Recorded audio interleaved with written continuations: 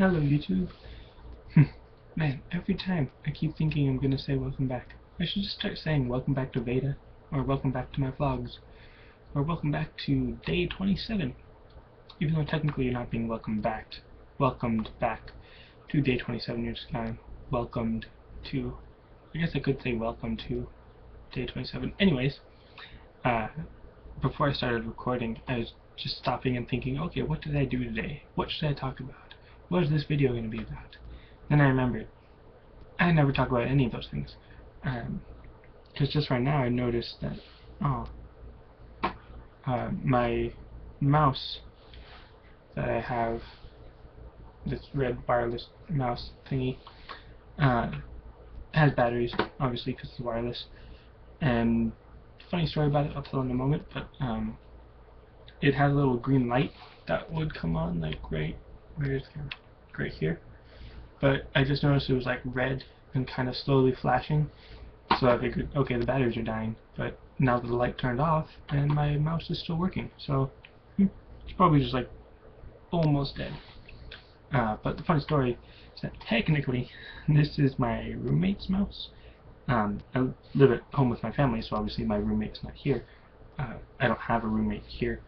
But when I was at the master's college uh, last year, two semesters ago, um, my roommate Tay, he had this mouse, and there was just one week near the beginning of the school year when I forgot to bring my mouse uh, with me to school, and I, I wasn't like complaining and making a big fuss or anything. I just said like, "Oh man, I forgot my mouse," and he heard that, so he was like, "Oh hey, here, use this one," and then, "Oh cool, thanks," and then I just started using it after that, and he had his own mouse, it's not like I was stealing his mouse or anything, um, like his only one or anything. But after a while, like I just kept using it, and then sometimes I'd bring my own mouse and use that one. But for the most part, I was just using this one. And then I think he said that I could either buy it off him, or he might have said that I could have it for free. And I said that I'd give it back by the end of the year, and then I forgot. So I keep meaning to give it back whenever I go visit, but I don't think I ever am. Not necessarily because I'm choosing not to, but just I'm probably never going to remember to give it to him. Uh, and it's because of this mouse that I realized, like, man, wireless mouses, or mice, computer mouses, mice, computer mice are awesome, because they're wireless, so they're cool.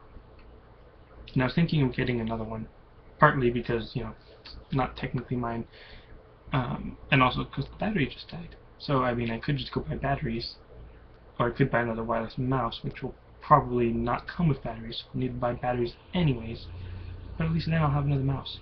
And for Dungeon Defenders, you're able to play locally on one computer, I think, like split screen. Like it has an option for split screen. I'm pretty sure you can use split screen. I have no idea how that works because I mean, how would that even work? Uh, I have a keyboard, a wired keyboard attached to my laptop, so I have two keyboards that I could theoretically play split screen with. Uh, but I don't even know how that would work. Again, I mean, I would need two mice, I think, or use my mouse pad differently, or set up something weird. I don't know. I want to do it because then I could level up two characters at once when I'm playing the game. That would be helpful. It's kind of like my thing, even though I haven't really shown that because on computer games you can't really do two people at once. I mean, kind of on World of Warcraft, but uh, nothing else that I can think of that I'd be able to play two people at once on the computer. But once I get a game capture card thingy for recording console games, then I will show you. Uh, thought I heard something. Uh, then I will show you how I play with two people at once, meaning me, I control two people. Something I picked up when I would, I would play a game that no one else wanted to play. So I'd play multiplayer, because multiplayer was better than single player. I was the only one playing, so I'd be playing multiplayer by myself. Which is kind of like, oh, woe is me, I'm playing like that, but no, it's fine.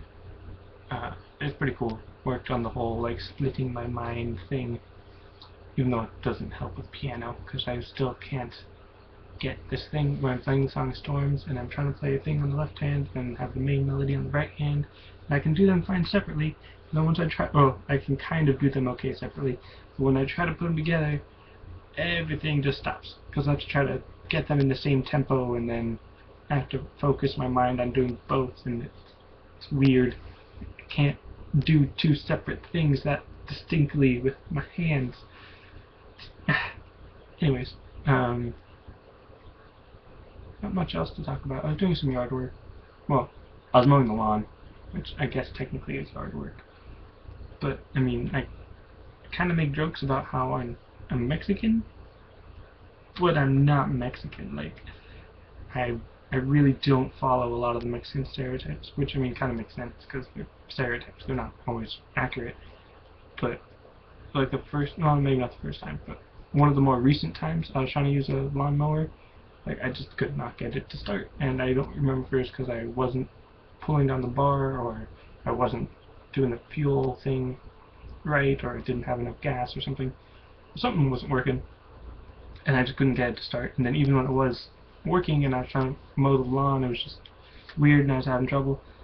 I mean, obviously not all Mexicans have any similarity other than that they're Mexican. Like, stereotypes, I get that they're false. Like, there's, just because someone's race doesn't mean they have other characteristics.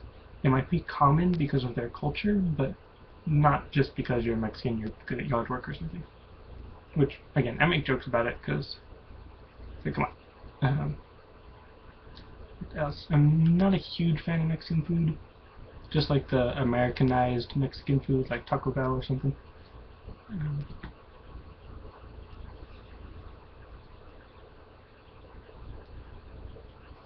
oh, I thought I heard something. But, uh, of that, I'm going to end the vlog. So, thanks for watching, and I'll see you next time.